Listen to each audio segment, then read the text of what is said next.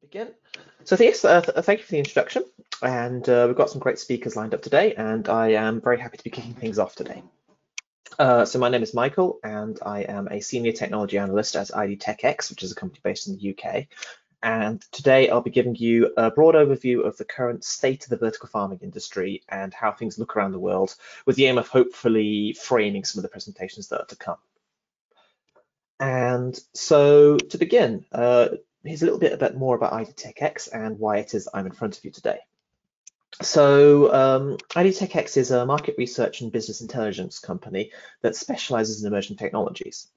And so we take a deep look at both the science behind the emerging technologies and the markets in which they operate to try and get a clear view into what's really going on in what's often fast moving and sometimes hype filled industries. And everything that I'm going to talk to you about today uh, comes from the recent IDTechEx report, um, Vertical Farming 2020 to 2030, which is a report that looks into the technologies and markets that are helping to make vertical farming a reality across much of the world. So on to today's presentation. I'll begin by describing the current state of the vertical farming industry before giving an overview of what this looks like around the world, before finishing with, out, with an overall outlook for the industry. Um, so to begin with, what, what does the vertical farming industry look like right now? Well, in recent years, the vertical farming industry has been really taking off. Um, so since the idea was first popularized in the West, so Europe and the US a few years ago, uh, interest in the field has exploded with hundreds of startups being founded around the world and com companies raising hundreds of million dollars in, in investor capital. And each year, more and more vertical farming startups are being founded and their deals are getting bigger and bigger. And so if you look at this next slide, uh, this shows the three most well-funded ver vertical farming startup uh, vertical farming companies out there right now, which are Plenty, AeroFarms, and Infarm. Uh, with Plenty and Infarm having announced some major investment deals within the last month or two, both of which over were over 100 million dollars. And of course, we're lucky enough today to be joined by AeroFarms, and I'm really looking forward to hearing a bit more about them and their work as well. And what this slide and the previous slide illustrate is the sheer level of interest this sector is receiving, um, having started from almost nothing in the West only five or six years ago. And quite a lot, there are an increasingly large number of people across the world who think that vertical farming has the potential to make a huge impact on food production.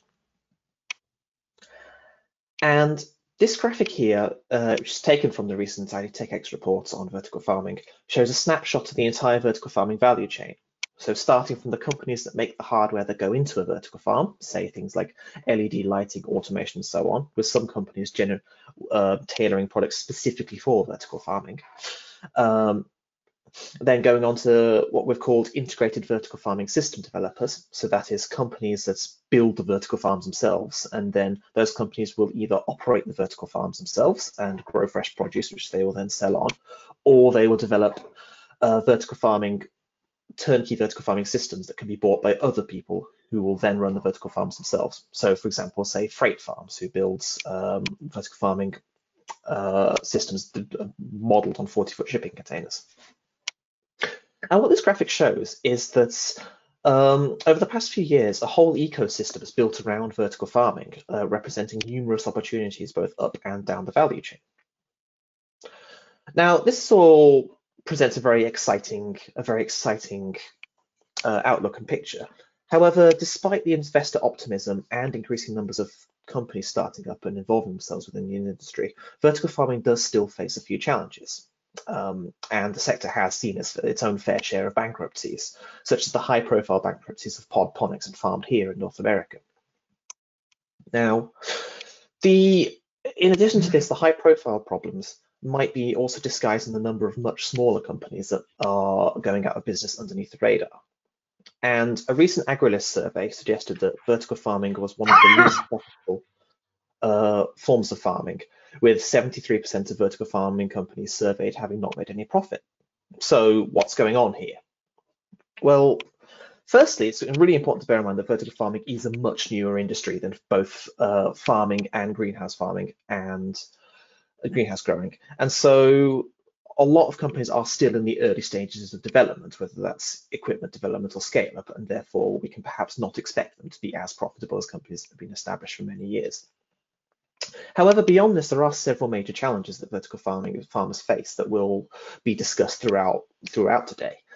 Uh, and they essentially boil down to the fact that vertical farms are often just really expensive to run, uh, with issues such as labor costs and uh, the electricity costs being really quite dominant components. And as Marcel indicated earlier, something that could put Eastern, uh, Central and Eastern Europe into a really good position to to be a good area of growth for vertical farming.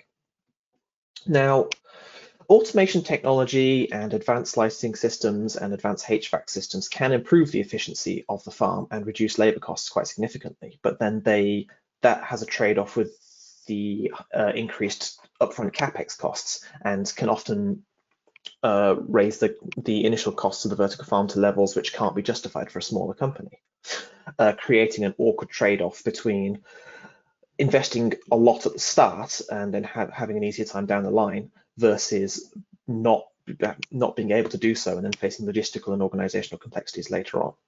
Um, scale up can also be quite difficult for a vertical farm with and many economies of scale can be lost and increased uh, by uh, can be lost by increasing the organizational and logistical complexities of a larger vertical farming facility.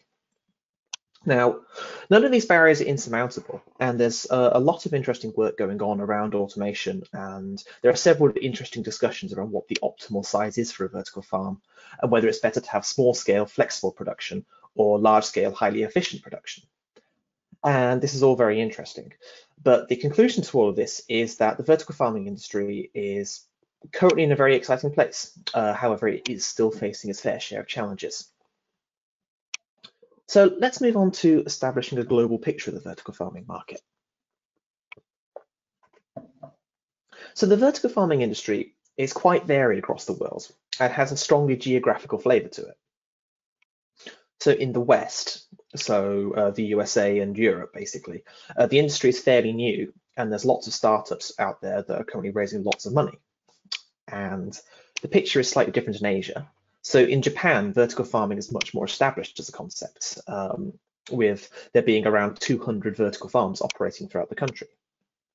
And the industry is less well developed in China, but it is still growing quite rapidly. Um, and there's a special case in this discussion for the Middle East, where the need for vertical farming is particularly pressing, uh, which is something I'll touch on in a little bit. So this slide shows some of the main consumer perceptions around vertically farmed produce and how it varies with geography. So in the US and Europe, many of the benefits, uh, the consumer benefits center around the localness of production and perceptions of higher quality. Whereas in Asia, it shifts quite a bit towards food safety. So which have been quite big issues in uh, food safety and food consistency in both Japan and China. and then uh, consistent issues across the world for vertical farming uh, is the fact that um, vertical farm vertical farm produce is still often uh, more expensive than conventionally farmed produce across the world, um, as well as the fact that cheap conventionally farm, farmed produce is generally quite widely available um, outside of the Middle East, that is. So much of the interest of the last few years has come from the West, and in particular the US, where there's been a surge of Silicon Valley startups and some um, absolutely enormous funding rounds happening throughout the country. And although vertical farming in, in, the US isn't as developed as it is in Japan, the level of investment and interest in the region are helping to are really helping it to grow very quickly.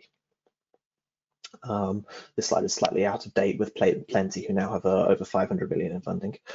Um, and so a driving factor that's somewhat unique to the US um, in terms of vertical farming is the ability of vertical farming to provide fresh produce. So in the US, almost all produce is grown in specific regions, particularly California, and therefore fresh produce can travel thousands of miles through multiple centralized facilities before it reaches stores in, say, New York or Chicago, uh, often taking several weeks in the process. And this can not only result in products that are less fresh, but it can also um, can lead to some issues with food safety. Um, and that's and contamination of leafy greens is becoming an increasingly important issue in the US, where there's been hundreds of hospitalizations over the last few years.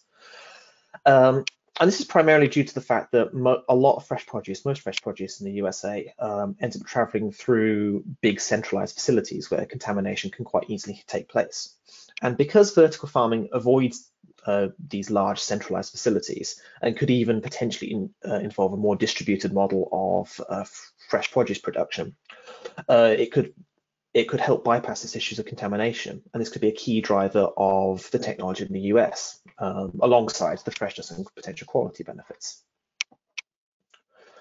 So the situation in Europe is quite similar to that in the US, with lots of startups being founded and increasingly uh, an increasing number of big money investment rounds. So, for example, uh, Berlin-based uh, Infarm has managed to raise over $300 million, which results in it being the second highest fund funding vertical farming company on the planet. now, a lot of the uh, a lot of this uh, in Europe so far has been driven within the UK and EU with uh, players such as the Jones Food Company, who's talking later on, as well as uh, Urban Crop Solutions uh, in Belgium and Agricool in France have been increasingly making uh, headlines with interesting deals that they're doing and partnerships and progress. So, and one thing I think is interesting to think about when we think about vertical farming in Europe and uh, just farming technology in general in Europe is quite how advanced it is. So, um, for example, greenhouse technology is very advanced in in Europe in particular, with the Netherlands in particular being a hotspot for greenhouse technology.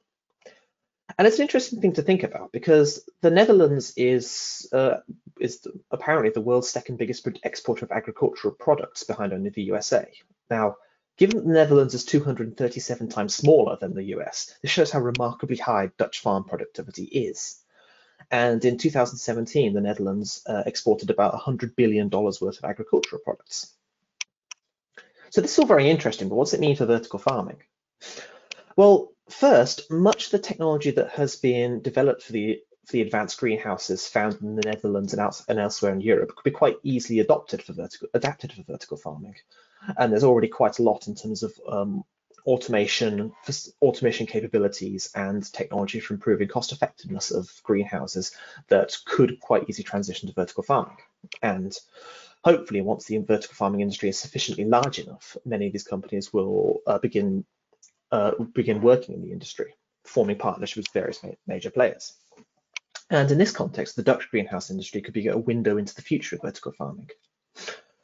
However, one of the things to bear in mind is that the success of the Dutch greenhouse industry may not necessarily be a positive.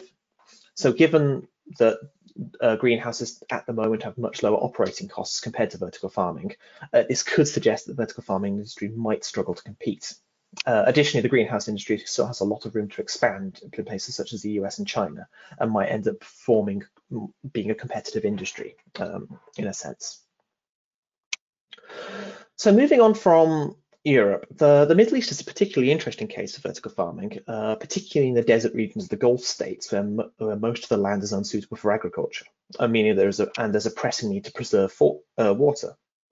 And in these regions, almost all of the food is imported, and at the same time, electricity tends to be very cheap, meaning that uh, the Middle East could be particularly uh, well suited for setting up vertical farming.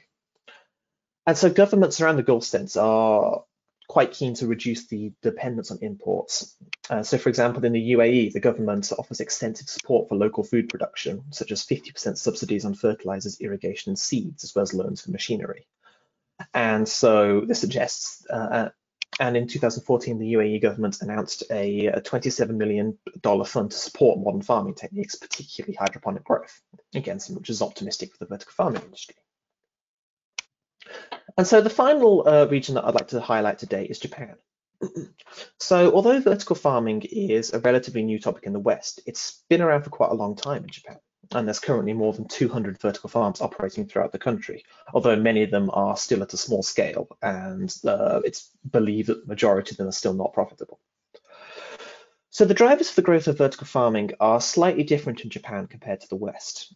And whilst consumers over there do value freshness, uh, the small geography of the country, uh, coupled with the efficient, efficient, the highly efficient distribution network, make it less of a differentiator. And the, one of the key drivers is in Japan is food safety. So food safety is a very sensitive topic in the country, particularly following the uh, 2011 Fukushima disaster. And in addition to this, natural disasters and recent heat waves have caused quite large levels of fluctuation in the price and availability of fresh produce. And the reliability and consistency of vertical farming to provide a consistently priced um, product is something that, could, that is highly valued by consumers in Japan, in addition to the food safety benefits. And given that the uh, level of the level of establishment of the industry. Uh, the Western vertical farming industry could quite learn quite a lot from the Japanese industry, particularly as because Japanese vertical farms are more generally been around for longer, they typically have less automation that goes on, and therefore the West could probably learn quite a lot in the ways that they have overcome difficulties in addressing labour costs within their facilities. So what does this all mean? Well, vertical farming is still a very rapidly growing industry. It's still in its early stages uh, in the US and Europe, although it's a much more mature industry in Japan. This graph is a simplified forecast from the recent IDTechEx report on vertical farming and predicts that the industry will continue to exhibit rapid growth across the U Europe and the US, although the industry will still need to overcome the challenges around business model, pricing, and production costs to make this a reality. Nevertheless, the outlook is bright and more and more talented people are entering the industry every day. And that brings me to the end of the, today's presentation, which has hopefully given you a short overview of the state of vertical farming across the world and the contents of this presentation, as well as much more insight into the technologies and market factors that are helping to shape the industry, can be found in the recent ID IDTechEx report, Vertical Farming 2020 to 2030. So uh, that brings me to the end of my presentation. So uh, thank you.